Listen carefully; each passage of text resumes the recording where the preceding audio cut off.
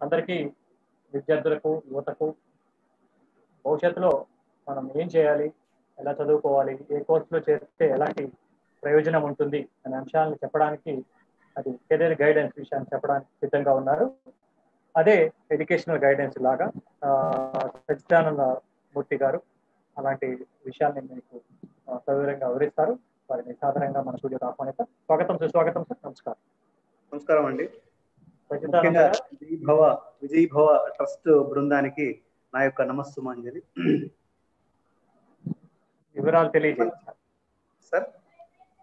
Educational guidance గురించి మా ప్రేక్షకులకు తెలియజేయండి తప్పకుండా తప్పకుండా సార్. నాకు తెలిసినటువంటి విషయాల్ని మీ అందరితోని పంచుకుంటాను. శ్రీమన్మంగళధారణం శ్రిత జగత్తు వాంఛావలి పూరణం.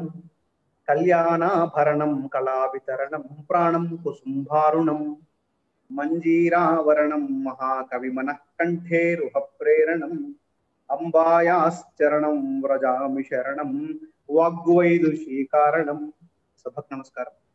ఈరోజు విజయ్ భవ జై భవాని ట్రస్ట్ ద్వారా మీ అందరి ముందు ఎడ్యుకేషనల్ గైడెన్స్ అంటే విద్యా మార్గదర్శనం అనేటువంటి విషయం గురించి ఒక అంశం గురించి మనం ఈరోజు చర్చించుకుందాం.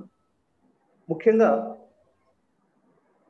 ఈరోజు ఎడ్యుకేషనల్ గైడెన్స్ అనేటువంటి ఒక ప్రక్రియ సమాజంలో చాలా ప్రాచుర్యాన్ని ప్రాచుర్యంలో ఉంది. ఎందుకు ఈ ఎడ్యుకేషనల్ గైడెన్స్ అనేటువంటి ప్రక్రియ రావడం జరిగింది? అందులో ఒక చాలా పార్ట్స్ ఉన్నాయి. అందులో ఎడ్యుకేషనల్ గైడెన్స్ అనేటువంటిది కూడా ఒక పార్ట్. అయితే ఎడ్యుకేషనల్ గైడెన్స్ అండ్ కౌన్సిలింగ్ అనేటువంటిది ఎందుకు ఇంత ప్రాచుర్యంలో ఈ రోజు ఆ జరగడం రావడం జరిగింది అనడానికి దానికి ముందుగా మీకు కొన్ని విషయాలు తెలియజేసుకున్నాను. ముఖ్యంగా కృష్ణం వందే జగద్గురుం అనే పదం మనం వినుంటాం ఒక శ్లోకంలో. చివరి పదం వసుదే వసుదం దేవం కంస చానూరమర్ధనం దేవకి పరమానందం కృష్ణం వందే జగద్గురుం అని కృష్ణుని యొక్క ప్రార్థన.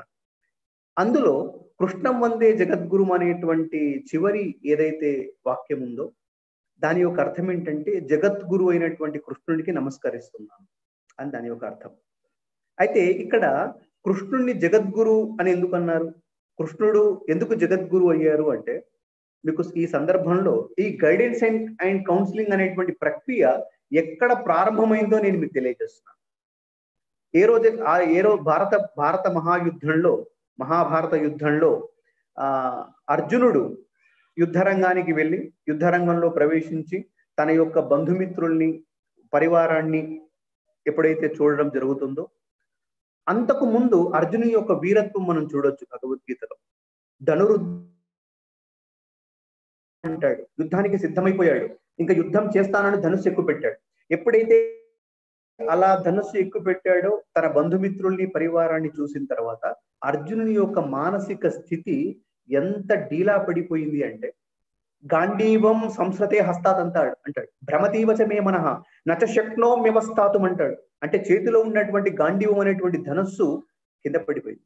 భ్రమతీవచ మే మనః నా మనస్సులో చాలా మానసిక వికారాలు భ్రమ ఒక భ్రమను భ్రమకు లోనైపోతుంది నా మనస్సు. నచ శక్నో వ్యవస్థాతం అంటే నేను ఇక్కడ నిలబడడానికి కూడా ఆ శక్తి కూడా నాలో లేదు. అంతటి డి ఒక నిర్వీర్యమైనటువంటి స్థితిలో అర్జునుడు ఉండిపోయాడు. విస్తృత్య సశరం చాపం శోక సంవిఘ్న మానస అంటాడు. తన చేతిలో ఉన్నటువంటి ధనస్సుని ఆ విల్లుని అన్నిటిని కూడా కింద పడేసి అలా రథోపస్థ ఉపావిషత్ అలా కూర్చుండిపోయాడు రథంలో రథం మధ్యలో. ఈ సందర్భం ఎందుకు చెప్పానంటే అలా ఒక మహావీరుడైనటువంటి ఒక అర్జునుడు ఆ బంధుమిత్రుల్ని పరివారాన్ని చూసిన తర్వాత తన యొక్క మానస వికారాన్ని పొంది తన బంధుమిత్రుల మీద ఉన్నటువంటి ప్రేమ అభిమానాలతో తన యొక్క వీరత్వం మొత్తం మర్చిపోవడం జరిగింది. ఒక సంకట స్థితిలో ఒక మానసిక క్షోభకు ఒక సంవేగానికి ఒక అసంతులితమైనటువంటి ఒక ఒక ఒకనొక ఒక స్థితికి ఒక దాని ఏమంటారంటే మనము చాలా కృంగి కృషించిపోవడం అంటాం కదండి. అలాంటి స్థితికి అర్జునుడు లోనైపోయాడు. ఆ స్థితిని చూసినటువంటి కృష్ణుడు తనకు ఏ రకంగా గైడెన్స్ చేయడం జరిగింది? ఏ రకంగా కౌన్సిల్ ఇవ్వడం జరిగింది? ఆ స్థితిలో ఉన్నటువంటి అర్జునుడిని ఒక కృష్ణ కృష్ణ భగవానుడు తన యొక్క గీతా బోధన ద్వారా తనకు సరైన టైంలో గైడెన్స్ కౌన్సిలింగ్ అనేటువంటిది తెలియజే ఇప్పించి మళ్ళీ యుద్ధం చేయడానికి సన్నద్ధం చేశాడు. కాబట్టి మనం సగర్వంగా ఆత్మాభిమానంతో అందరం కలిసి మనం ఏం చెప్పుకోవాలంటే ఈ గైడెన్స్ అనే గైడెన్స్ గైడెన్స్ అనే కౌన్సిల్ అనేటువంటి ప్రక్రియ భారతదేశంలో మన ఇతిహాసంలో మన మహాభారతంలో భగవద్గీతలో మొదలు ఆరంభమైందని మనం సగర్వంగా చెప్పాలి. కాబట్టి బెస్ట్ కౌన్సిలర్ ఎవరు అని అడిగితే కృష్ణ భగవానుడి మొట్టమొదటి కౌన్సిలర్ అని చెప్పాలి. ఒక బెస్ట్ గైడ్ ఎవరని అడిగితే మార్గదర్శకుడు ఎవరని అడిగితే మన కృష్ణ భగవానుడేనే చెప్పాలి చెప్పాలి. తన యొక్క అభిప్రేరణ సిద్ధాంతాల వల్ల తన యొక్క బోధన వల్ల యుద్ధము చేయనన్నటువంటి అర్జునుణ్ణి తన బోధనతో తన కౌన్సిలింగ్తో మామూలు మనిషిగా మార్చాడు కృష్ణుడు. అప్పుడే చివరికి అంటాడు నష్టో మోహ స్మృతిర్లబ్ధ అంటాడు. అంటే కృష్ణ నా మోహం నశించిపోయింది. కరిషే వచనం తవ. నువ్వు ఎలా చెప్తే అలా చేస్తా. గైడెన్స్ కౌన్సిలింగ్ జరిగింది అతనికి అర్జునుడు. కాబట్టి యుద్ధానికి సన్నద్ధమయ్యాడు. ఎందుకు మీకు ఈ సందర్భం తెలియజేశానంటే ఆధునిక కాలంలో ఎలాంటి ప్రక్రియలు వచ్చినా సైకాలజీలో కానివ్వండి ఏ విభాగంలో కానివ్వండి అవన్నీ మన ప్రాచీన కాలంలో ఆ ముడిగుట్టుకొని ఉన్నాయి. కృష్ణుడు గొప్ప కౌన్సిలర్ అని చెప్పడానికి ఇది ఒక చిన్న ఉదాహరణ. అయితే ఎందుకు ఈ రోజుల్లో గైడెన్స్ అనే గైడెన్స్ కౌన్సిలింగ్ అనేటువంటి ప్రక్రియ చాలా ప్రాచుర్యంలోకి రావడం జరిగింది? ఏంటి అంటే మొత్తం అన్ని చోట్ల కూడా కాలుష్యం అయిపోయింది సమాజంలో కాలుష్యం ఇంట్లో కాలుష్యం వ్యక్తిలో కాలుష్యం మనసులో కాలుష్యం మొత్తం సమాజం మీద అంతటా కాలుష్యం అనేటువంటిది వచ్చేసి ఎన్నో రకాల సమస్యలు మనకు తెలియని తెలిసినటువంటి ఎన్నో మానసిక వికారాలు ఎన్నో సమస్యలు.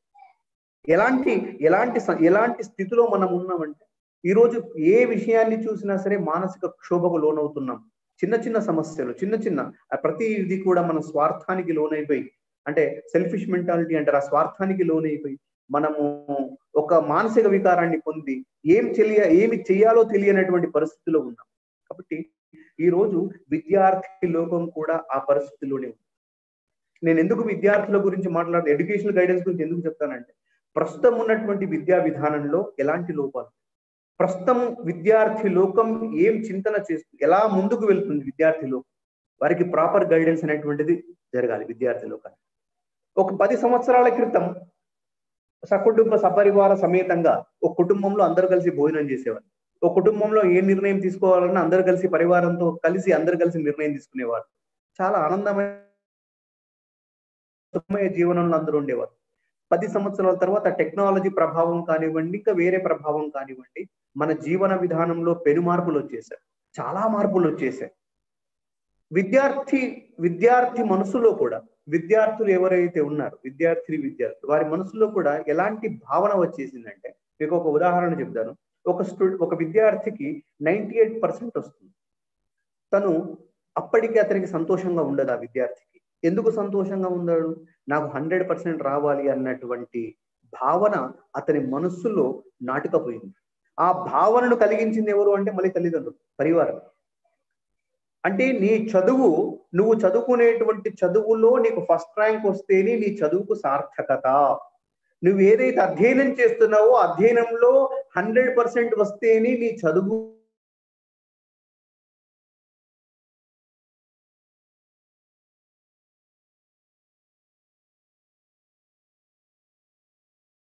ఆనందంగా నాకు ఎందుకు రాలేదు అన్న బాధలో ఉన్నాడు. అంటే విద్యార్థి లోకంలో యాక్సెప్ట్ నేచర్ అనేటువంటిది తక్కువ. స్వీకృతి భావన okay hundred percent ninety eight percent వస్తుంది. చాలు ఎలా అయినా నేను బ్రతికేస్తాను. నా నా స్కిల్స్ నా నా కౌశలాలతో నేను ప్రపంచంలో పోరాడుతాను అనుకోవడం లేదు. నాకు హండ్రెడ్ పర్సెంట్ వస్తేనే ఫస్ట్ ర్యాంక్ వస్తేనే నా చదువుకు సార్థకత అనే అంధకారంలో విద్యార్థులు ఉన్నారు.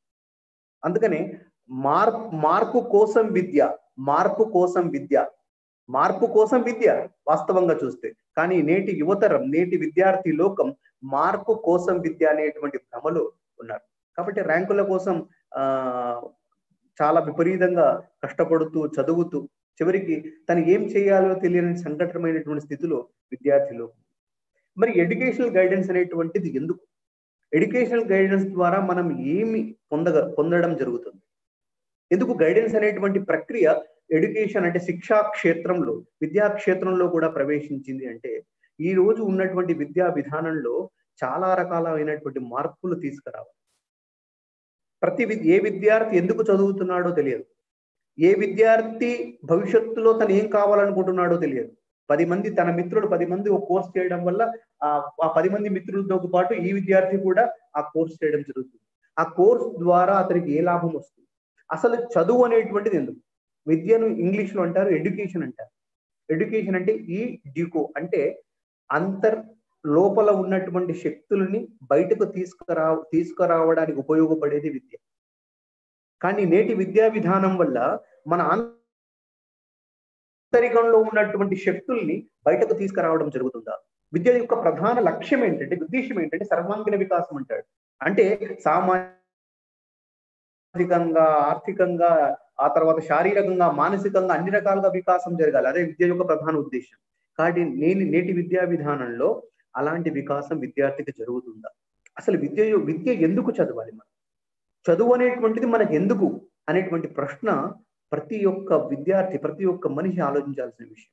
చదువు యొక్క గొప్పతనం ఏంటి? చదువు అనేటువంటిది ఎందుకు అనేటువంటి ప్రశ్న మనం వేసుకోవాలి. ఇక్కడ సందర్భంలో మన ప్రాచీన విద్యా విధానం గురించి కొన్ని ఉదాహరణలు తెలియజేస్తాను. తెలియజేస్తాం ప్రాచీన కాలంలో కూడా విద్యా విధానం చాలా అద్భుతంగా చాలా అద్భుతంగా కదండి. చాలా వైజ్ఞానికంగా ఒక సైంటిఫిక్ మెథడ్లో మన విద్యా విధానం అనేటువంటి ప్రాచీన కాలంలో ఉంది. ఆ రోజు మన విద్యా విధానాన్ని కనుక ఒక్కసారి సూక్ష్మంగా అబ్జర్వ్ చేస్తే కనుక అక్కడ చాలా మట్టు ఒక గురు శిష్య సంబంధం తీసుకోండి ఒక అబ్జెక్టివ్స్ తీసుకోండి ఒక కరికులం తీసుకోండి సిలబస్ తీసుకోండి ఏ ఏ రకం ఒక ఒక విద్యా సంస్థలు తీసుకోండి గురుకుల ప్రణాళిక తీసుకోండి ప్రతి దాంట్లో కూడా ఒక సైంటిఫిక్ మెథడ్ మనకు కనిపిస్తుంది. వాల్యూ ఓరియంటెడ్ ఎడ్యుకేషన్ ఉండింది మన ప్రాచీన విద్యా విధానంలో. ఈ రోజు వాల్యూసే కనబడట్లేదు విద్యా విధానంలో. పేరుకు మాత్రమే వాల్యూస్ ఉంటాయి. వాటి ఆచరణలో లేదు. కానీ మన ప్రాచీన విద్యా విధానాన్ని ఒక్కసారి పరిశీలించినట్టయితే అక్కడ ఎంత అద్భుతమైనటువంటి ప్రక్రియ. ఒక చిన్న ఎగ్జాంపుల్ గురు శిష్య సంబంధం తీసుకోండి. ఆ రోజుల్లో ఉన్నటువంటి గురు శిష్య సంబంధం ఎంత దృఢమైనటువంటి సంబంధం. పితాపుత్ర సంబంధం అంటారు. అంటే తండ్రి కొడుకుకు ఉండేటువంటి సంబంధం గురు శిష్యుల మధ్య ఉండే సంబంధం. ఈ రోజు గురు శిష్య సంబంధం ఎలా ఉందో నాకన్నా మీకే బాగా తెలుసు. మన రోజు వార్తాపత్రికల్లో టీవీలో చూస్తున్నాం గురువుని ఏ రకంగా చూపిస్తున్నారు? విద్యార్థులు ఏ రకంగా గురువుల్ని భావిస్తున్నారు? మనం చూస్తున్నాం. కానీ ప్రాచీన కాలంలో అలా లేదండి. పితాపుత్ర సంబంధం అంటే తండ్రి కొడుకుల సంబంధం గురు శిష్యులది. అందుకని సహనాభవతు సహనోభుణక్తు సహవీర్యం కరవాబోయ్ అని ప్రార్థిస్తాడు. మేమిద్దరం క్షేమంగా ఉండుగాక. మా ఇద్దరికి ఆయురారోగ్య ఆరోగ్య భోగభాగ్యాలు ఉండుగా మేము చదువుకున్నటువంటి చదువు తేజస్విరా సమాజానికి లోక కళ్యాణానికి ఉపయోగపడుగా అని ప్రార్థన చేయడం జరిగింది. ఆ రోజుల్లో విద్యా విధానం అలా ఉండింది. గురుశిష్య సంబంధం అంత పవిత్రమైన సంబంధంగా ఆ రోజుల్లో విరాజు ఇది ఎందుకు నేను మీకు తెలియజేస్తున్నానంటే ఎడ్యుకేషనల్ గైడెన్స్లో ఇవన్నీ మనకు ప్రధాన అంశాలు. ఒక ఒక ఒక టీచర్ బాగుంటేనే ఒక విద్యార్థి బాగుంటాడు. ఒక విద్యార్థి ప్రవర్తన బాగుంటేనే ఒక స్కూల్ అనేటువంటిది బాగుంటుంది. ఇవన్నీ ఒకదానికి ఒక లింక్ ఉంటుంది. ఇదే సందర్భంలో మీకు ఇంకొక విషయం తెలియచేయాలి. మన కవులు ప్రాచీన కవులు సందర్భానుగుణంగా ప్రతి సందర్భంలో చాలా కృషులు కవులు పండితులు ప్రతి సందర్భంలో మనకు చదువు యొక్క గొప్పతనం తెలియజేశారు. సమాజంలో ఎలా బ్రతకాలో తెలియజేశారు. నేను ఎందుకు తెలియజేస్తున్నానంటే పోతన తన భాగవతంలో ఒక పద్యం చెప్తాడు. ఆ పద్యం ఎవరి చేత చెప్పిస్తాడు? హిరణ్య కశిపుడు రాక్షసుతో చెప్పిస్తాడు. అంటే మనందరం ఊహిస్తాం. అరే రాక్ష అంటే ప్రాచీన కాలంలో రాక్షసులు కూడా చదువు యొక్క గొప్పతనాన్ని తెలియజేశారు. అదే మన ప్రాచీనత్వం. అదే మన వాంగ్మయం యొక్క మహత్వం. అదే మన సంస్కృతి యొక్క మహత్వం. ఈ రోజు ఒక మహాపురుషుడు చెప్పారు లేదా గొప్పవాళ్ళు చెప్పారంటే మనం నమ్ముతున్నాం. కానీ ప్రాచీన కాలంలో మహాపురుషులు దేవతలు మానవులతో పాటు దానవులు కూడా చదువు యొక్క ప్రాముఖ్యతను తెలియజేశారు. ఎంత అద్భుతంగా చదువు ఎందుకు అనేటువంటి దానికి హిరణ్య కశిపుడు ప్రహ్లాదంతో అంటాడు. గురుకులానికి పంపించేటువంటి సందర్భంలో గురుకులానికి ఎప్పుడైతే ప్రహ్లాదుడు సిద్ధమవుతాడో అప్పుడు అంటాడు హిరణ్య కశిపుడు చదువని వాడగ్నుండు. చదివిన సదసత్ వివేక చతురత గల్గును. చదువగ వలయును జనులకు. చదివించను ఆర్యులంతా చదువు తండ్రి అంటాడు. నాయన ప్రహ్లాద చదువని వాడగ్నుండు. చదువుకోకపోతే వాడు అజ్ఞాని. కంపల్సరీ చదువుకోవాలి మనందరం. చదివిన సదసద్వివేక చతురత గల్గును. ఎంత బాగా అంటే చదువుకుంటే చదువు ద్వారా మనం ఈ రోజు ఏమనుకుంటున్నాము? చదువు అనేటువంటిది ఎందుకంటే ఓన్లీ ఉద్యోగం కోసం చదువు అని చదువుతున్నాం. పేరు ప్రఖ్యాతల కోసం చదువు అని చదువుతున్నాం. కానీ ఆ రోజుల్లో విద్య అనేటువంటిది ఎందుకు అంటే చదివిన సదసద్వివేక చతురత కలుగును. చదువు వల్ల విద్యా విధానం వల్ల విద్య వల్ల వివేక జ్ఞానం అనేటువంటిది వస్తుంది. ఏది మంచి ఏది చెడు. ఏది నీతి ఏది అన్యాయం. ఏది ధర్మం ఏది అధర్మం అనేటువంటి వివే వివేక జ్ఞానం అనేటువంటిది మనకు తెలుస్తుంది. చతురత గల్గొని అంటే కౌశలాలు అభివృద్ధి అవుతాయి. మనలో ఉన్నటువంటి నైపుణ్య శక్తులన్నీ చదువు ద్వారా అభివృద్ధి అభివృద్ధిలోకి వస్తాయి. చదివించదు చదువు చదువుగా వలయులు జనులకు. కాబట్టి అందరూ కూడా చదువుకోవాలి.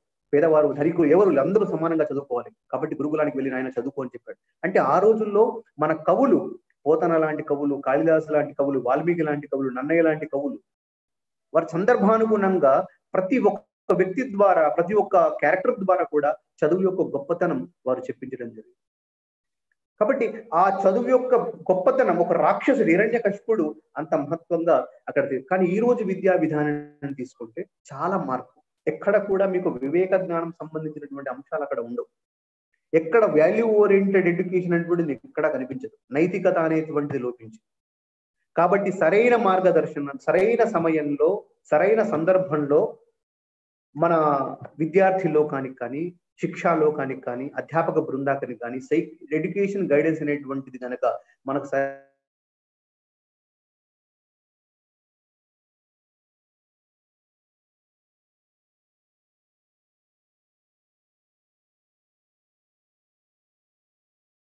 గైడెన్స్ విద్యా మార్గదర్శనం అనేటువంటి ఎందుకు జరగాలి ఎందుకు ఇవ్వాలి అనేటువంటిది మనందరి మనసులో కలుగుతున్నటువంటి ఒక సందేహం.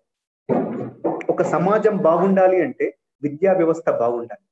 అప్పుడే సమాజం బాగుంటుంది సమాజం బాగుంటే ఆ దేశం అభివృద్ధి పథంలోకి వస్తుంది. ఎందుకు విద్యా విధానమే ఎందుకు మన దేశ అభివృద్ధికి కారణం అంటే మీకు ఒక చిన్న ఉదాహరణ చెప్తాను. మనం ఇంటర్నెట్లో సెర్చ్ చేసినట్టయితే అక్కడ ప్రపంచంలో అత్యధికమైనటువంటి దుర్ఘటనలు అంటే హింసాత్మకమైనటువంటి ఘటనలు ప్రతి రోజు ఆ దేశంలో హింసాత్మక ఘటనలు అత్యాచారాలు మానభంగాలు అవమానాలు చావడాలు చంపడాలు ఇలాంటి ఘోరమైనటువంటి హింసాత్మకమైనటువంటి ఘటనలు ఒక దేశంలో రోజు జరుగుతాయి అత్యధిక శాతంలో. అది ఏ దేశం? మనం ఇంటర్నెట్లో చూసినట్టు చూసినట్టయితే తెలుస్తుంది. సుడాన్ అనేటువంటి దేశంలో ప్రతిరోజు ఎన్నో రకాల హింసాత్మక ఘటనలకు చోటు చేసుకుంటుంది ఆ దేశంలో. ఒక దేశం ఇంకొక దేశం. ఈ దేశంలో అసలు చాలా తక్కువ పర్సంటేజ్లో హింసాత్మక ఘటనలు కానీ అవమానాలు కానీ మానభంగాలు కానీ జరగవు. ఆ దేశం ఏ దేశం? సింగపూర్. ఒక దేశంలోనేమో అత్యధికమైనటువంటి హింసాత్మక ఘటనలు జరుగుతున్నాయి రోజు. ఇంకొక దేశంలో చాలా తక్కువ రేషియోలో అక్కడ ఇలాంటి ఘటనలు జరుగుతున్నాయి. అక్కడ అలా ఎందుకు జరుగుతున్నాయని రీసెర్చ్ చేస్తే అక్కడ చాలా రకాల కారణాలు ఉన్నాయి అందులో ఒక ప్రధానమైనటువంటి కారణం విద్యా వ్యవస్థ. సుడాన్ అనేటువంటి దేశంలో విద్యా వ్యవస్థ బాగాలేదు. అక్కడ ప్రైమరీ మాతృభాష బోధనలు జరగదు. పరభాష బోధనలు ప్రైమరీ ఎడ్యుకేషన్ అనేటువంటిది అక్కడ కొనసాగుతుంది. అలాగే అక్కడ ఎవరైతే అధ్యాపక బృందం పనిచేస్తుందో అధ్యాపకులు ఎవరైతే కార్యం కార్యం చేస్తున్నారో వారెవరు కూడా పర్మనెంట్ టీచర్స్ కాదండి. అంటే స్థాయి అధ్యాపకులు ఎవరు కాదు అక్కడ. అందరూ కూడా పార్ట్ టైం టీచర్స్ లాగా వేరే వేరే కంపెనీలో పనిచేస్తూ సాయంకాల సమయంలో కానీ మధ్యాహ్న సమయంలో వచ్చేసి అక్కడ శిక్షణ ఇవ్వడం జరుగుతుంది. కాబట్టి ఈ రెండు కారణాల వల్ల అక్కడ ప్రైమరీ సెక్షన్ అనే ప్రైమరీ ప్రైమరీ అనేటువంటిది ఆ నాశనం అయిపోయింది. విద్యా పూర్తిగా ఇంత ఘోరంగా ఎందుకు? ఈ హింసాత్మక ఘటనలు జరగడానికి విద్యా వ్యవస్థ ప్రధాన కారణం. బాల్యం నుండే మనం నైతిక సంబంధ నైతిక విలువల్ని కనుక తెలియజేసినట్టయితే నైతిక అంశాలు కనుక తెలియజేసినట్టయితే ఎవరైతే అధ్యాపకులు అక్కడ పనిచేస్తున్నారో వారందరూ కూడా మూల్య సంబంధించినటువంటి పాఠాలు బోధించినట్టయితే ఇలాంటి సంఘటనలు సమాజంలో ఎప్పుడు కూడా జరగవు అని చెప్పడానికి అదొక మనకు ఒక ఒక బెస్ట్ ఉదాహరణ. మరి సింగపూర్ దేశంలో ఎందుకు అంత తక్కువ రేషియో జరుగుతుంది అంటే అక్కడ విద్యా విధానంలో మానవీయ విలువలకు సంబంధించినటువంటి చాలా వాల్యూస్ అనేటువంటిది ఎడ్యుకేషన్ సిస్టమ్లో చేర్చడం జరిగింది. దయా వాత్సల్యం ప్రేమ అభిమానం ఇలాంటి గుణాలన్నీ కూడా వారి ఎడ్యుకేషన్ సిస్టమ్లో చేర్చడం జరిగింది ఎలిమెంట్స్లో అంటే ఆబ్జెక్టివ్స్లో చేర్చడం జరిగింది. కాబట్టి అక్కడ విద్యా వ్యవస్థ అనేటువంటిది ఒక ఆదర్శమయంగా కొనసాగుతుంది సింగపూర్ దేశం. అందుకని ఈ రోజు ఒక విద్యా విధానాన్ని మనం తీసుకున్నట్టయితే ప్రస్తుతం ఆధునిక విద్యా విధానంలో చాలా మంది విద్యార్థులు చాలా సంశయంతో ఉన్నారు. ఏం చదవాలో తెలియదు. ఎలా చదవాలో తెలియదు. భవిష్యత్తులో ఏం కావాలో కూడా తెలియదు. అక్కడ ఇంకొక ఉదాహరణ. కొంతమంది తల్లిదండ్రులు ఏం చేస్తున్నారంటే విద్యార్థుల మీద బలవంతంగా బలాత్కారంగా మీరు ఈ ఫీల్డ్లోకి వెళ్తారు. మీరు ఇదే కోర్స్ చేయాలి. అతనికి ఇష్టం ఉందా లేదా తెలుసుకోకుండా అతనికి ఆ సామర్థ్యం ఉందా లేదా తెలుసుకోకుండా విద్యార్థుల మీద చాలా బలవంతంగా చాలా ఒత్తిడిగా ఈ ఇలాంటి కోర్సుల్ని చేయించడం జరుగుతుంది. అప్పుడు విద్యార్థులందరూ కూడా తమకు ఇష్టం లేకపోయినా సరే తల్లిదండ్రుల ప్రభావం వల్ల కానివ్వండి సమాజం వల్ల కానివ్వండి మిత్రుల వల్ల కానివ్వండి అలాంటి కోర్సులు చేయడం జరుగుతుంది. భవిష్యత్తులో వాళ్ళ యొక్క మానసిక ఒత్తిడి తట్టుకోలేక ఆ ఒత్తిడి తట్టుకోలేక వారిలో చాలా రకాలైనటువంటి విద్యార్థుల్లో చాలా రకాలైనటువంటి మానసిక వికారాలు అనేటువంటివి వస్తున్నాయి. కాబట్టి ఎడ్యుకేషనల్ గైడెన్స్ అనేటువంటిది మనకి ఏం చెప్తుంది అంటే పాఠ్యక్రమం తీసుకునే సందర్భంలో పాఠ్యక్రమాన్ని మనం ఎప్పుడైతే స్వీకరించే సందర్భంలో కానీ అలాగే న్యూ కరికులం మనం వేరే కొత్త కోర్స్ ఏదైనా చేసే చేయడానికి సిద్ధమవుతున్న సందర్భంలో కానివ్వండి అలాగే విద్యాలయ వాతావరణం కనుక మనకు తగినట్టుగా లేకపోయి అలాంటి సందర్భంలో కానీ విద్యా వ్యవస్థలో ఎలాంటి లోపాలని కనిపించి అలాంటి సందర్భంలో కానీ ఎడ్యుకేషనల్ గైడెన్స్ అనేటువంటిది మనకు ఉపయోగపడుతుంది. శైక్షిక మార్గదర్శనం అంటారు దాన్ని. అంటే విద్యా మార్గదర్శనం అంటారు. విద్యకు సంబంధించినటువంటి ఎలాంటి సంశయాలు సందేహాలు వచ్చినా సరే ఈ గైడెన్స్ ద్వారా మనం ఆ వాటి యొక్క సమాధానాన్ని మనం పెట్టుకోవచ్చు. అసలు గైడెన్స్ అంటే ఏంటి అని అంటే గైడెన్స్ అంటే మనకు మామూలు భాషలో చెప్పుకోవాలంటే సహాయత ప్రదానం అంటే సహాయం చేయడం. సహాయత ప్రధానాన్ని గైడెన్స్ అంటారండి. ఏదైనా విషయం అందుకని ఇప్పుడు గైడెన్స్ అండ్ కౌన్సిలింగ్లో కూడా చాలా రకాల భాగాలు విభాగాలు వచ్చేసాయి. ఏంటంటే ఎడ్యుకేషనల్ గైడెన్స్ వచ్చేసింది వొకేషనల్ గైడెన్స్ వచ్చింది ఇండివిజువల్ గైడెన్స్ వచ్చేసింది. చాలా రకాల డిఫరెంట్ డిఫరెంట్ స్టేజెస్ అనేటువంటి గైడెన్స్లో చాలా రకాలుగా మనకు కనిపిస్తున్నాయి. ఈ రోజు ఎందుకు మనకు మన ప్రస్తుతం సభ్య సమాజంలో ఈ యొక్క సైకాలజీ కానివ్వండి సైకియాట్రీ కానివ్వండి ఎడ్యుకేషనల్ కాని ఎడ్యుకేషనల్ గైడెన్స్ కానివ్వండి కౌన్సిలింగ్ కానివ్వండి ఎందుకు ప్రాచుర్యంలోకి వచ్చాయంటే మానసిక వికారాలు ఎక్కువైపోయాయి. మన ముందు ఎన్నో రకాల సమస్యలు మన ముందు కనబడుతున్నాయి. కాబట్టి ఈ ఇలాంటి పరిస్థితుల్లో ఇలాంటి కొత్త కొత్త విద్యా విధానంలో కౌన్సిలింగ్ కానివ్వండి సైకాలజీ కానివ్వండి ఎక్కువ ప్రాచుర్యంలోకి రావడం జరిగింది. ఇక ప్రస్తుతం ఇంకో విషయం ఏంటంటే అలాగే పాఠ్య సహగామి క్రియ గైడెన్స్ ఎడ్యుకేషన్ గైడెన్స్ ఇంకెక్కువ ఎక్కువ ఉపయోగపడుతుంది అంటే పాఠ్య సహగామి క్రియల్ని తీసుకునేటువంటి సందర్భంలో కూడా.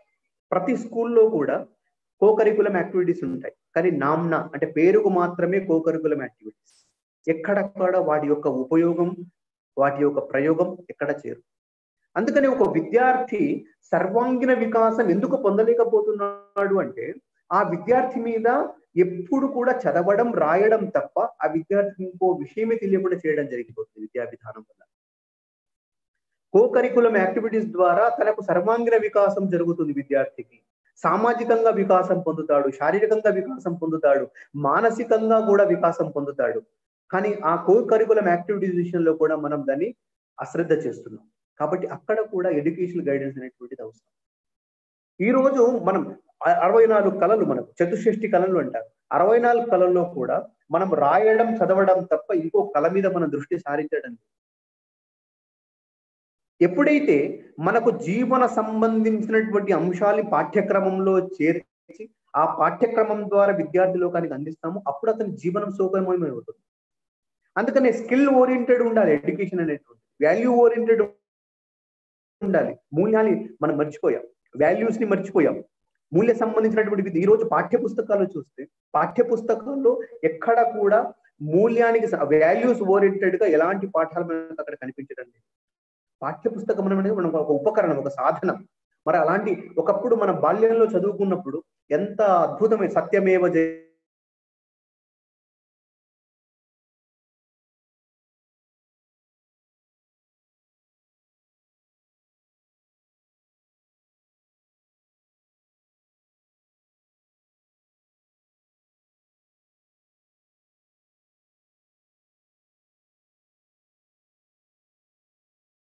జయ ఆ యొక్క ఆవు ఆ దగ్గరికి రావడం తన సత్య పటిమ సత్యవాక్ పాలనని చూసి ఆ యొక్క పులి ఆ ఆవుని వదిలేయడం సత్యమేవ జయదే అని సారాంశంగా మనకి ఇవ్వడం జరిగింది. అంటే అలాంటి వాల్యూస్ ఓరియంటెడ్ లెసన్స్ అనేటువంటిది మనము విద్యార్థులకు అందించాలి. చాలా విలువలతో కూడుకున్నటువంటి అందుకని న్యూ ఎడ్యుకేషన్ పాలసీలో నాలుగు ప్రధాన అంశాలు చెప్పడం జరిగింది. న్యూ ఎడ్యుకేషన్ పాలసీ కొత్తగా మోదీ గారి ఆధ్వర్యంలో ఇప్పుడు త్వరలో దాదాపుగా అన్ని అన్ని ఇన్స్టిట్యూషన్లు కూడా అమలు చేయడం జరుగుతుంది. అందులో నాలుగు రకాల విషయాలు చాలా ప్రధానంగా నాలుగు విషయాల మీద చాలా దృష్టి పెట్టారు. ఒకటి నాలెడ్జ్ సెకండ్ వన్ వాల్యూస్ తర్వాత స్కిల్స్ ఇంప్లిమెంటేషన్స్ నాలెడ్జ్ ఓరియంటెడ్గా ఉండాలి వాల్యూస్ ఓరియంటెడ్గా ఉండాలి స్కిల్ డెవలప్మెంట్గా ఉండాలి దాని ఇంప్లిమేషన్ ఇంప్లికేషన్గా ఉండాలి. విద్యా విధానంలో రాబోయే కాలంలో చాలా పెను మార్పులు కూడా రావడానికి అవకాశం ఉంది.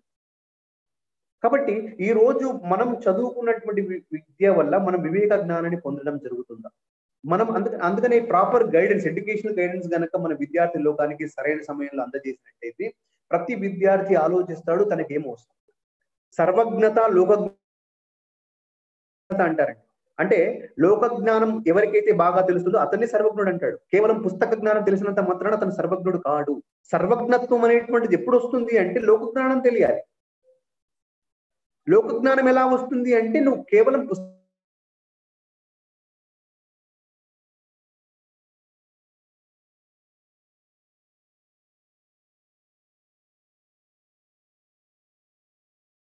లోకమానో బహుయాను బహూన్ గ్రంథాన్. సేవ్యమానో బహూన్ గురున్ దేశమానో లోకమానో బహూన్ దేశాన్ బహుజ్ఞో జాయతే నరహ అంటాడు.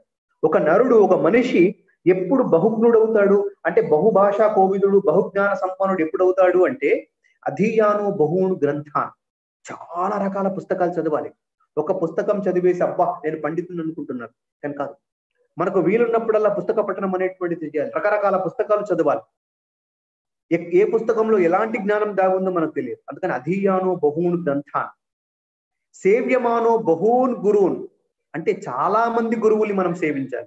అంటే గురువు సేవ చేయమని గురు సేవ చేస్తూ ఒక్క గురువు దగ్గరే కాకుండా చాలా మంది గురువుల దగ్గర మనం అధ్యయనం చేయాలి. కొందరు ఆయుర్వేదంలో ప్రాముఖ్యులై ఉంటారు. కొందరు వేరే వేరే శాస్త్రంలో వేరే వేరే సబ్జెక్ట్స్లో చాలా పట్టిమ చాతుర్యం కలిగిన వాళ్ళు ఉంటారు. అందరి దగ్గర మనం శిష్యరికం చేసి వారిలో ఉన్నటువంటి జ్ఞానాన్ని సముపార్జించాలి. లోకమానో బహూన్ దేశ. కూపస్థ మండుకంలాగా కప్ప ఒక దగ్గర ఉంటే ఇదే ప్రపంచం అనుకుంటుంది. బావిలో ఉన్నటువంటి కప్ప. అలా కాకుండా లోకమానో బహూన్ దేశ మనకున్నటువంటి పరిమితిలో మనకున్నటువంటి సీమ చాలా రకాల వీలున్నప్పుడల్లా కొత్త కొత్త ప్రదేశాలకు వెళ్ళి అక్కడ ఉన్నటువంటి సంస్కృతి సంప్రదాయాల్ని రీతుల్ని విధానాల్ని తెలుసుకుంటే దాని వల్ల కూడా మనకు చాలా రకాల విషయాలు తెలుసుకుంటాం. కాబట్టి అలాంటి వ్యక్తి బహుజ్ఞుడు అంటాడు తప్ప కేవలం పుస్తక పఠనం చేసిన వాడే బహుజ్ఞుడు కాబట్టి విద్యా విధానంలో ఇలాంటి రకరకాల మార్పుల్ని మనం తీసుకురావాలి. ఇంకొక విషయానికి వస్తే ప్రస్తుతం ఈ యొక్క విద్యా విధానం విద్యా విధాన విషయంలో మనం చిన్నగా చర్చించుకున్నట్టయితే ఒక అబ్బాయి ఒక విద్యార్థి సర్వాంగీణ వికాసం ఎప్పుడు పొందుతాడు? అతనికి అన్ని రకాల అన్ని రకాలతో కూడుకున్నటువంటి విద్యను మనం అందజేస్తే అతను సర్వాంగీణ వికాసం పొందుతాడు. ఆశ్చర్యకర విషయం ఏంటంటే నేను ఎక్కడో వ్యాఖ్యానంలో గరికపాటి వ్యాఖ్యాన గరికపాటి నరసింహారావు గారి వ్యాఖ్యానం ఎక్కడో విన్నాను. ఇరవై సంవత్సరాలు మనం అధ్యయనం చేస్తున్నాం. ముప్పై సంవత్సరాలు మనం అధ్యయనం చేస్తున్నాం. కానీ చాలా ఆలో శోచనీయమైన విషయం ఏంటంటే ఎక్కడైనా ఇంటర్వ్యూ ఉందంటే ఈ ముప్పై సంవత్సరాల అధ్యయనాన్ని పక్కన పెట్టేసి ఒక six months personality development class communication skills అనేటువంటి ప్రైవేట్ క్లాసులకు వెళ్ళేసి అక్కడ మనం స్కిల్స్ నేర్చుకోవడం జరుగుతుంది. మరి ఇన్ని రోజులు నువ్వు చదివినటువంటి విద్యా విధానంలో విద్యలో అలాంటి స్కిల్ ఓరియంటెడ్గా పాఠ్యాంశాలు దొరకలేదా? పర్సనాలిటీ డెవలప్మెంట్ సంబంధించినటువంటి ఏ పాఠాలు నువ్వు చదువుకోలేదా? అది మన విద్యా వ్యవస్థ. అది ప్రజెంట్ ఉండేటువంటి ఎడ్యుకేషన్ సిస్టమ్. అది ప్రస్తుత విద్యా విధానంలో అలాంటి సిస్టమ్ మనకి ఇప్పుడు జరుగుతుంది? కాబట్టి ఒక విద్యార్థి సర్వజ్ఞుడు ఎప్పుడు అవుతాడు అంటే లోక జ్ఞానం తెలిసినప్పుడు. వ్యావహారిక జ్ఞానం తెలిసినప్పుడు సర్వజ్ఞుడు అవుతాడు. కాబట్టి వ్యావహారికమైనటువంటి లోక జ్ఞానం సంబంధించినటువంటి అంశాలన్నింటినీ కూడా విద్యా క్షేత్రంలో పొందుపరచాలి. ముఖ్యంగా ఈ విద్యా క్షేత్రంలో పరివర్తనం రావాలి అంటే ముగ్గురికి మనం ప్రధానంగా గైడెన్స్ చేయాలి. ఇది ఎందుకు నేను చెప్తున్నానంటే అవసరం.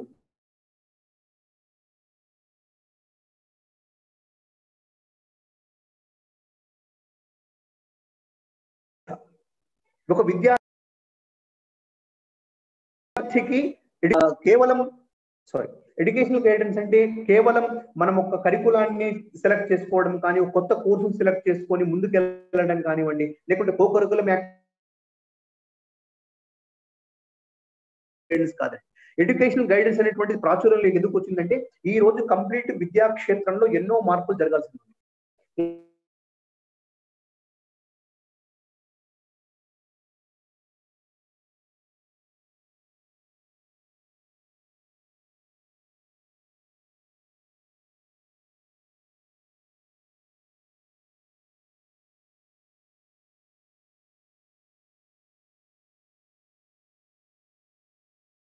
కర్తవ్యాలు లైఫ్ సుఖం నా నిద్ర అంటాడు.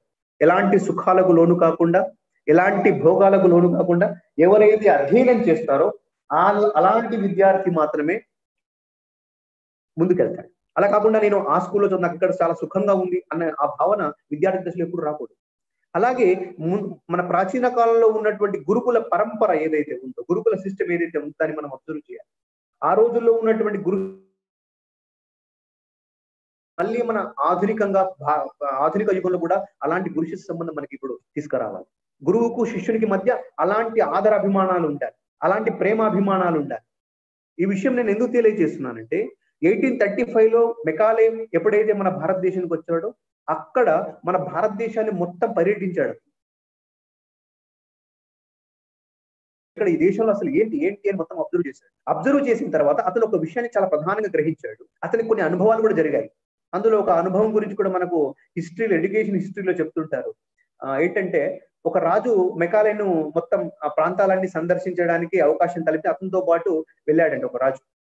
ఒకనొక సందర్భంలో మెకాలేను వదిలేసి మా మార్గ మధ్యలోనే వదిలేసి పరిగెత్తుకుంటూ వెళ్ళి దూరంగా ఉన్నటువంటి ఒక వృద్ధుణ్ణి వెళ్ళి కాలకు నమస్కారం చేశారు ఒక వృద్ధుని. మెకాలికు చాలా కోపం వచ్చేసింది. ఏంటంటే నేను మీకు వచ్చినటువంటి అతిథిని లండన్ నుంచి వచ్చాను నేను. నేను మీకు అతిథిని. మీరు నన్ను బదిలి ఎక్కడో దూరంగా ఉన్నటువంటి ఒక వృద్ధుడు చాలా కురువృద్ధుడు ఒక ముసలివాన్ దగ్గరికి వెళ్ళి మీరు నమస్కారం చేశారు. మీరు మరి మరి రాజు ఈ దేశానికి ఈ ప్రా ఈ ప్రాంతానికి అని ఆయన అడగడం జరిగింది. అప్పుడు ఆ రాజు ఏమన్నాడంటే మెకాలే గారు వారు ముసలివారు కావచ్చు వృద్ధులు కావచ్చు కానీ నాకు చదువు చెప్పినటువంటి గురువులు అని చెప్పాడు. అది ఆ రోజుల్లో ఉన్నటువంటి గురు ఒక రాజు ఒక దేశానికి రాజు అయిన ఎవరైనా సరే ఒక గురువు కనిపిస్తే గురువు యొక్క మీద ఉండే గురువు మీద ఉండేటువంటి ఆదరాభిమానము భక్తి అలా ఉండేది. అందుకని మన ప్రాచీన గురు శిష్య సంబంధం అనేటువంటిది ఎన్ని రోజులు ఎంత టెక్నాలజీ డెవలప్మెంట్ అయినా సరే ఎంత ఆధునిక యుగంలో మనం ప్రవేశించినా సరే ఈ గురు శిష్య ప్రాచీన కాలంలో ఉన్నటువంటి గురు శిష్య సంబంధము ఎప్పుడు కూడా అంత పవిత్రమైన సంబంధం ఎప్పుడు కూడా మనకు కనిపించదు. అంత అద్భుతంగా అందుకనే మెకాలే చాలా పర్యటించి చాలా ఆలోచించాడు. అసలు భారతీయుల్ని మార్చాలి అంటే మనం ఎంచుకోవాల్సినటువంటి క్షేత్రము విద్యా క్షేత్రం ఎడ్యుకేషన్ సిస్టమ్. ఇక్కడ గురు శిష్య సంబంధం ఏదైతే ఉందో చాలా దృఢమైనటువంటి సంబంధం. ఇక్కడ ఎడ్యుకేషన్ సిస్టమ్లో చాలా వాల్యూస్ ఉన్నాయి. కాబట్టి కంప్లీట్గా మన హస్తక్షేపం కేవలం శిక్షా క్షేత్రంలో మొట్టమొదటిగా జరగాలి. మన యొక్క ప్రారంభం మన యొక్క సంస్కృతి ప్రచారం మన విదేశీ సంస్కృతి ప్రచారం ఎలా కొనసాగించాలి అంటే దానికి ఆరంభం ఆరంభం యొక్క పాదం ఏంటంటే విద్యా విధానం కాబట్టి విద్యా విధానంలో అతను మార్పు చేయడం జరిగింది. ఆ రోజు నుంచి మనకు చాలా రకాల మార్పులు ఈరోజు మనం ప్రత్యక్షంగా చూస్తున్నాం. ఎంత పెద్ద మార్పులు వచ్చేసే విద్యా క్షేత్రంలోనే కాబట్టి ఆ ఆ యొక్క విద్యా విధానం మార్పు అప్పుడు జరిగిన ఆ తర్వాత అలాంటి గురించి సంబంధం మనకు ప్రత్యక్షంగా కనబడట్లేదు చాలా రకాల విషయాల్లో ఎడ్యుకేషన్ ఎలిమెంట్స్ ఏవైతే ఉన్నాయో ఉద్దేశాలు తీసుకోండి పాఠ్యక్రమం తీసుకోండి లేదా ఆ, అధ్యయన విధానాలు తీసుకోండి శిక్షణ సంస్థల్ని తీసుకోండి అన్నిట్లో కూడా మార్పులు వచ్చేసాయి. చాలా రకాల విషయాల్లో మనం మార్పుల్ని ప్రత్యక్షంగా చూడడం జరుగుతుంది. అలాగే ప్రాచీన ప్రాచీన విద్యా విధానంలో మరొక మహత్వం ఏంటంటే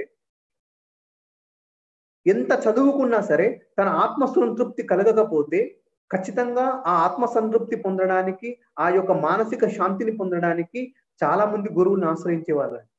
ఉదాహరణకు నారదుడు సనత్ ఉపనిషత్తుల్లో చెప్తారు. నారదుడు సనత్ కుమార్ దగ్గరకు వెళ్తాడు. వెళ్ళేసి ఆ అశాంత మనహ అంటాడు.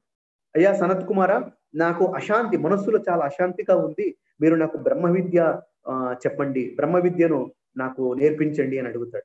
అప్పుడు సనత్ కుమారుడు అంటాడు నువ్వు అసలు ఏమేమి చదువుకున్నావు నువ్వు చెప్పు. నేను చాలా చదువుకున్నానండి. నేను చాలా చదువుకొని వచ్చాను. అయినప్పటికీ కూడా నా మనసులో అశాంతి అనేటువంటిది అలానే ఉంది. కాబట్టి మీరు బ్రహ్మ విద్యను నాకు ప్రసాదించండి అని అడిగాడు. అప్పుడు సనత్ కుమార్ అని అంటాడు అయ్యా మీకు మీరేమేమి చదువుకున్నారు? ఆ నారదముని మీరు ఏమేమి చెప్పండి. ఋగ్వేదో భగవోద్యోమి క్షాత్ర విద్య నక్షత్ర విద్య రాజస్వ ఇలా రకరకాల విద్యల యొక్క పేర్లు చెప్తారు. ఉపనిషత్తులో చాలా మంత్రంలో చాలా చక్కగా చెప్పడం జరిగింది. ఇన్ని రకాల విద్యలు నాలుగు వేదాలు చదివాను అష్టాదశ పురాణాలు చదివాను శాస్త్రాలు చదివాను ఎన్నో రకాల విద్యలు చదివాను. అయినప్పటికీ కూడా అశాంత మనహ అన్నాడు. అంటే నా మనసులో అశాంతి అనేటువంటిది ఉంది. చూడండి ఆ రోజు విద్యా విధానం. ఎంత చదువుకున్నా సరే వారికి సంతృప్తి ఉండేది కాదు. ఆ శాంతి కోసం పరితపించేవారు వారు. ఆ మానసిక శాంతి కోసం ఏం చేయాలి? బ్రహ్మ విద్య నేర్చుకోవడానికి వెళ్ళేవారు. అది మన ప్రాచీన విద్యా విధానం. ఎప్పటికీ విద్యా విధానం మనందరికి కూడా ఆదర్శమయం.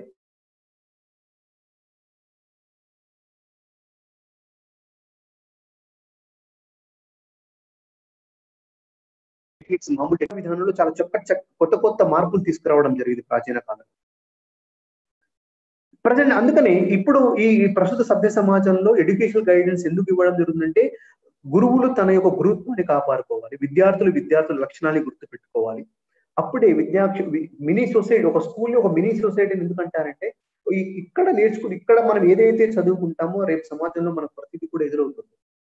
విద్యార్థి దశలో కనుక మనం అన్ని నేర్చుకున్నట్టయితే సమాజంలో చక్కగా జీవించడం జరుగుతుంది. కాబట్టి విద్యా విధానంలో చాలా మార్పులు రావాలి. సరైన సమయంలో ప్రాపర్ గైడెన్స్ ఇవ్వాలి. నేను ఒక టీచర్కు గైడెన్స్ ఎందుకు ఇవ్వాలి అని నేను చెప్తున్నానంటే ఇది తప్పుగా అనుకోకూడదు. ఎందుకంటే a teacher should be friend and philosopher guide అంటారు మనం అంటే ఒక teacher should be friend and philosopher guide అంటే మిత్రుడు లాగా ఉండాలి ఒక ఫిలాసఫర్ అంటే తత్వవేత్త లాగా ఉండాలి గైడ్ అంటే ఒక మార్గదర్శకుడు. ఒక టీచర్ కనుక మనకు మార్గదర్శకుడు మార్గదర్శకత్వం పోషించినట్టయితే ఈ రోజు గైడెన్స్ అండ్ అండ్ కౌన్సిల్ అనేటువంటి ప్రక్రియ అవసరం లేదు. దానికి సపరేట్ విభాగం అవసరం లేదు. దానికి సపరేట్గా మనం చర్చించుకోవాల్సినటువంటి అవసరం లేదు. కానీ ఈ రోజు ఒక క్లాస్ రూమ్ టీచింగ్లో ఎన్ని రకాల లోపాలు జరుగుతున్నాయి? విద్యార్థుల యొక్క ప్రవర్తన విద్యార్థుల వ్యవహారంలో ఎన్ని రకాల మార్పులు జరుగుతున్నాయి? అధ్యాపక బృందం అంటే నేను అందరి అధ్యాపక నేను అధ్యాపక వృత్తి అనేటువంటి చాలా పవిత్రమైనటువంటి వృత్తి. నేను సగర్వంగా చెప్పుకుంటా నేను అధ్యాపకున్నాను ఎందుకు అంటే ఈ అధ్యాపక వృత్తిత్వం ఎలాంటిది అంటే ఒక పది మంది విద్యార్థులు సమాజంలోకి మన మాట విని బయటకు వెళ్తారు. ఆ పది మందిని విద్యార్థుల యొక్క మంచి విద్యార్థి తయారు చేసే బాధ్యత మనందరి మీద ఉంది. నేను న్యూస్ పేపర్లో ఎక్కడో చదివాను. కరెక్ట్గా ఐడియా లేదు. ఐర్లాండ్ ఒక దేశంలో అన్ని వృత్తుల కన్నా అన్ని వృత్తుల కన్నా అధ్యాపక వృత్తికి ఎక్కువ ఇంపార్టెన్స్ ఇస్తారు. అధ్యాపక వృత్తికి ఎందుకు అక్కడ ఎక్కడ ఇంపార్టెన్స్ ఇస్తారంటే అక్కడ ఐఏఎస్ ఐపీఎస్ ఐఎఫ్ఎస్ మిగతా అన్ని వృత్తుల కన్నా బిజినెస్ వీటన్నిటికన్నా అధ్యాపక వృత్తిలో చేరాలి అంటే చాలా కష్టపడాలి విద్యార్థులు అక్కడ. చాలా చాలా హార్డ్ వర్క్ చేయాలి. ఒకవేళ మనం ఎంట్రన్స్లో కనుక క్వాలిఫై అయినట్టయితే తర్వాత సిక్స్ మంత్స్ కోర్స్ ఆర్మీలో ఇస్తారు అంటే ఒక అధ్యాపకుడిని వాళ్ళు ఎలా తీర్చిదిద్దుతారు?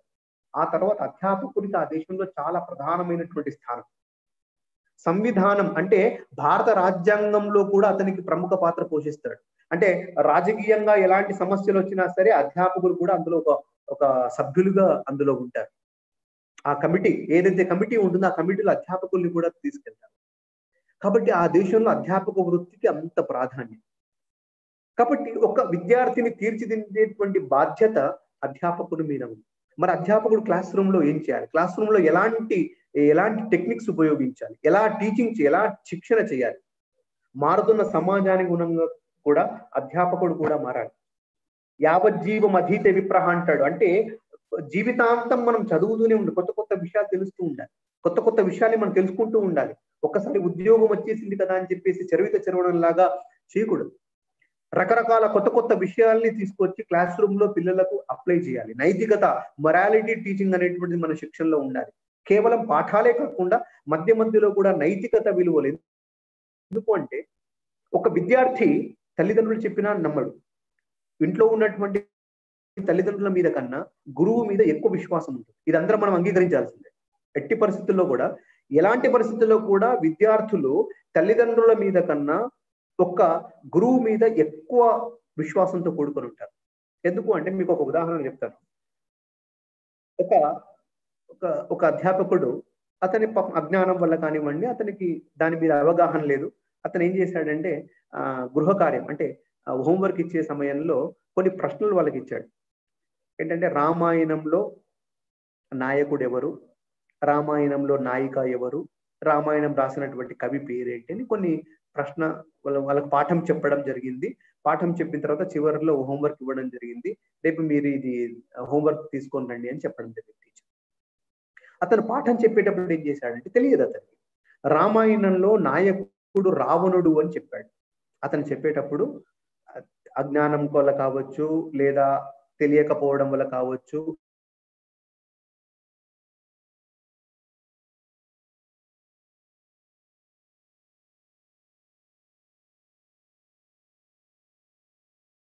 గురించి అంశాలు ఉన్నా సరే ఏదో ఒక రాజ్యంలో Rama and Krishna never lived అని పాఠ్యాంశం పెట్టడం జరిగింది. ఏదో ఒక స్టేట్లో ఏదో ఒక రాజ్యం ఒక చిన్న రాష్ట్రంలో పాఠ్య పుస్తకాల్లో రామాయణ కృష్ణ నెవర్ లీవ్డ్ అంటే రాముడు లేదు కృష్ణుడు లేడు అనేటువంటి పాఠాన్ని చేర్చడం జరిగింది. అసలు రాముడు రామవత్ ప్రవర్తితవ్యం నటు రావణాధివత్ అన్నాడు. రాముని యొక్క ఆ విధానం రాముని యొక్క సత్య మార్గాన్ని కనుక మనం అనుసరించినట్టయితే మన జీవితం ఎంత ఆనందమయంగా ఉంటుంది. మనకు మన శాస్త్రాలు చెప్పినటువంటి విషయం ఏంటంటే రామవత్ ప్రవర్తితవ్యం నటు రావణాధివత్ ఈ రోజు ఆ రామాయణ మహాభారతాల్ని కనుక మనం పాఠ్యాంశంలో చేరినట్టయితే ఎంతో ఈ సమాజంలో ఎన్నో రకాల మార్పులు తీసుకురావచ్చు. ఒక్క రామాయణం చాలని మన జీవన విధానాన్ని మార్చడానికి. ఒక్క రామాయణం చాలు. రామాయణంలో అసలు అద్భుతం. రామాయణంలో ఎన్నో రకాల మనకు ఆదర్శమైన ఆదర్శ ప్రాయమైనటువంటి ఎన్నో విషయాలు పితృవాక్య పరిపాలన కానివ్వండి. ఒక అన్నదమ్ములు ఎలా ఉండాలి? తల్లితో ఎలా ఉండాలి? భార్యతో ఎలా ఉండాలి? మిత్రులతో ఎలా ఉండాలి? దేశం కోసం ఏం చేయాలి? రాజ్యం కోసం ఏం చేయాలి? ఒక రాజుగా ఎలా ప్రవర్తించాలి? ప్రతిదీ కూడా రామాయణంలో చెప్పడం జరిగింది. అంత గొప్పది రామాయణ గ్రంథం. అయితే ఇక్కడ ఆ అధ్యాపకుడు ఆ రామాయణం మీద అవగాహన లేకపోతే అతను రామాయణంలో నాయకుడు రావణుడు అని చెప్పడం జరిగింది. విద్యార్థి అధ్యాపకుడి మీద చాలా ఆత్మ అతనికి చాలా విశ్వాసం తనకంటే ఎక్కువ విశ్వాసం అధ్యాపకుడి మీద. ఓ రామాయణంలో నాయకుడు రావణుడా? అని వెళ్ళి హోంవర్క్ రాస్తున్నాడు ఇంట్లో కూర్చొని హోంవర్క్ రాస్తున్నాడు నోట్బుక్లో హోంవర్క్ రాస్తున్నప్పుడు తన యొక్క తల్లి చూసింది అరే నాయన రామాయణంలో నాయ రావణుడు కాదు అని తనకు వారించింది. అప్పుడు ఆ విద్యార్థి ఏ అమ్మా నీకేం తెలుసు? నీకేం తెలుసు అమ్మా? నువ్వు వెళ్ళి వంట చేసుకో. మా మా అధ్యాపకుడు మా గురువు గారు చెప్పారమ్మా ఇది. ఆయన ఎంతో కష్టపడి పైకొచ్చాడు. ఆయన మా అందరికి కూడా గురువు గారు రామాయణంలో నాయకుడు రావణుడు అని చెప్పాడమ్మా. అని తల్లితో వాదించడం జరిగింది.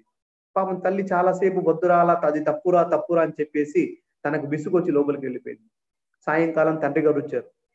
సేమ్ ఆ అమ్మ వెళ్ళేసి తన తల్లి వెళ్ళి ఏమంటే చూడండి అతను రామాయణంలో మన అబ్బాయి నాయకుడు రావణుడు అని రాస్తున్నాడు మీరు అన్నా చెప్పండి అంటే అప్పుడు తండ్రి వచ్చేసి ఒరే నాయన రామాయణంలో నాయకుడు రాముడురా రావణుడు కాదురా మీ గురువు గారు అతను అతనికి మేబీ అతనికి ఐడియా లేకపోవచ్చు. అందుకని అలా చెప్పుండొచ్చు. కాబట్టి బదిలేసేయమని రామాయణంలో నాయకుడు రాముడు అని రాయమని తండ్రి చెప్పిన అబ్బాయి వినలేదు. ఆ స్టూడెంట్ విన్ ఆ విద్యార్థి వినలేదు. నాన్న మీకు తెలియదు మా గురువు గారు మా గురువు గారికి చాలా ఎన్నో గ్రంథాలని అధ్యయనం చేశారని గురువు గారి మీదనే వాదిస్తున్నాడు. మా గురువు గారు గొప్పవారు. అంటే ఒక విద్యార్థి మనస్సులో గురుత్వం అనేటువంటిది ఎలా నాటుకపోయింది చూడండి. పుస్తకాలు ఎవ్వరికి ఏం తెలియదు మా గురువు గారికి మొత్తం తెలుసు అన్న విద్యార్థి మనసులో చాలా చాలాసేపు వాదించడం జరిగింది నోట్బుక్లో రామాయణంలో నాయకుడు రాముడు అని బలవంతంగా రాయించడం జరిగింది. తండ్రి మీద ఉన్నటువంటి భయంతో మనస్సులో అయిష్టత మనసులో ఇష్టం లేదు విద్యార్థికి. సో అతను ఏం చేశాడు? బలవంతంగా ఇష్టం లేకపోయినా సరే నోట్బుక్లో రామాయణంలో నాయకుడు రాము రావణుడు రాముడు అని రాశాడు. మొదటి మరుసటి రోజు విద్యాలయం వెళ్ళడం జరిగింది. విద్యాలయం వెళ్ళిన తర్వాత అధ్యాపకుడు వచ్చేటువంటి సమయానికన్నా ముందు ఆ అబ్బాయి ఆ విద్యార్థి ఆ నోట్బుక్ ఓపెన్ చేసి రామాయణంలో నాయకుడు రావణుడు అని తన తండ్రి చెప్పినటువంటి వాక్యాన్ని తీసివేసి మళ్ళీ గురువు గారు చెప్పినటువంటి వాక్యాన్ని రాయడం జరిగింది. అది ఒక విద్యార్థికి గురువు మీద ఉండేటువంటి విశ్వాసం. ఒక విద్యార్థి ఒక గురువుని ఒక ఆప్తవాక్యం లాగా చూస్తాడు. మా గురువు గారు మా టీచర్ గారు ఏది చెప్పినా సరే అది కరెక్ట్ అనేటువంటి భావనలో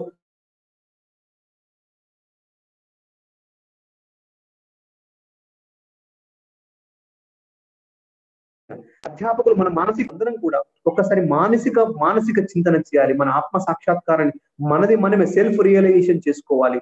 మనము ఎంతవరకు విద్యార్థి లోకానికి న్యాయం చేస్తున్నాం క్లాస్ రూమ్లో విద్యార్థుల విద్య మన క్లాస్ రూమ్లో వెళ్ళిన తర్వాత ఎంతవరకు మనం విద్యార్థులకు జ్ఞానాన్ని అందజేస్తున్నాం మన శిక్షణలో? మన బోధనలో కొత్త కొత్త విధానాల్ని తీసుకొస్తున్నామా? కొత్త కొత్త న్యూ న్యూ మెథడ్స్ని ఇంట్రడ్యూస్ చేస్తున్నామా? అప్రోచెస్ని ఇంట్రడ్యూస్ చేస్తున్నామా? టెక్నిక్స్ని వాడుతున్నామా? ఉపకరణాలతో ఉపయోగించి టీచింగ్ ఎయిడ్స్ అంట. వీటన్నిటిని ఉపయోగించి మనం శిక్షణ చేస్తున్నామా? ఇదంతా మనం ఆత్మమూల్యాంకనం చేసుకోవాలి. ఇది ఒక ప్రతి ఒక్క అధ్యాపకుడు కూడా కూడా మనం గైడెన్స్ ఆ గైడెన్స్ అనేటువంటి అందుకని should teacher should be friend and philosopher guidance ఎందుకన్నారంటే ఈ మూడు లక్షణాల అధ్యాపకుల్లో ఉండాలి. ఒక క్లాస్ రూమ్లో మనం ఎలా టీచింగ్ చేయాలి? మన యొక్క విషయాన్ని ఎంత సరళంగా విద్యార్థులకు మనం అందజేయాలి? ఒక కఠినమైనటువంటి విషయాన్ని ఉంది ఎంత సరళమైన పద్ధతిలో విద్యార్థుల ముందు మనం ఉంచాలి. అలా కాకుండా కఠినమైన విషయాన్ని మరీ కఠినంగా చేయడం జరుగుతుంది. కాబట్టి ఈ ఈ గైడెన్స్ అనేటువంటిది ఈ ప్రక్రియ ఎడ్యుకేషనల్ గైడెన్స్ అనేటువంటిది కూడా ఈ అందరికీ అక్కడ ఉన్నటువంటి కన్సర్న్ టీచర్స్ కానివ్వండి విద్యార్థులకు కానివ్వండి ప్రాపర్గా సరైన సమయంలో సరైన సందర్భంలో కనుక మనం ఇచ్చినట్టయితే అప్పుడు విద్యార్థి లోకానికి లాభం జరుగుతుంది. అంటే మన మన విద్యా విధానంలో ఉన్నటువంటి ఎన్నో రకాల మార్పుల్ని మనం తీసుకురావడం జరుగుతుంది దీనివల్ల అని నేను తెలియజేస్తున్నాను.